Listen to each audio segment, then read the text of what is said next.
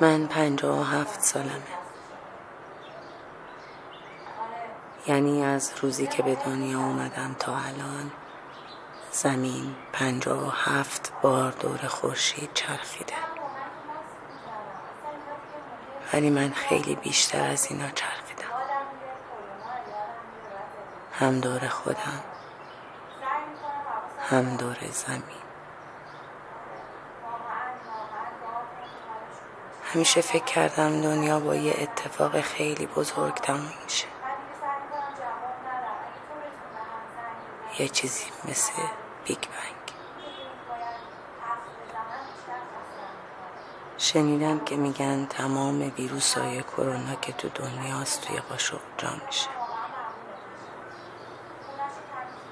سخته برام نمی‌تونم درک